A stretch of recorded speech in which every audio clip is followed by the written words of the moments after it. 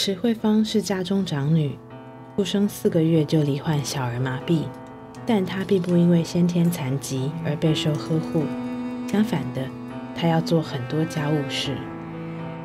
我其实很小的时候，大概三小学三四年级就会做家务事了，所以我们那时候就劈柴啊、起灶啊，你们大概 我会带着我弟弟妹妹去公用澡堂去洗澡。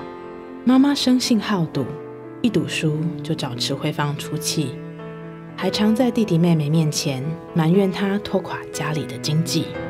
我妈讲话都讲得很很那个，我妈会骂我白卡白给，那个会会很伤我，因为别人骂我都可以接受，唯独自己的妈妈骂，所以我在上成长课程一提到这边，哇，我那个眼泪是啪，一直哎呦，我我我一直会反问说她是我妈妈。可是那个东西就像刀一样，血淋淋会给你插进去。我到现在还是没办法释怀。智慧芳说：“一想起妈妈，永远是恨大于爱。”后来，她拄着拐杖到处拉保险，又投资房地产，白手起家。她成了唯一有能力也愿意照料妈妈的孩子。不管怎么样，她是我亲妈妈。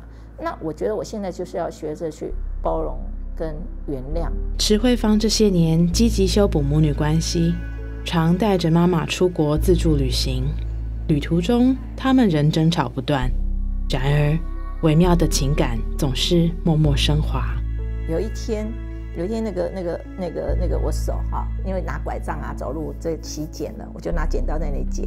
他就坐在对面说啊，就可怜我给你回系列啦。我说好接受，我讲回系列嘛，爱爱有勇气。目前。池慧芳陪着妈妈，过着自在的退休生活，剩余时间都在旅行。旅行时，它不是妈妈口中的白咖，它可以飞，那是它最自在的时刻。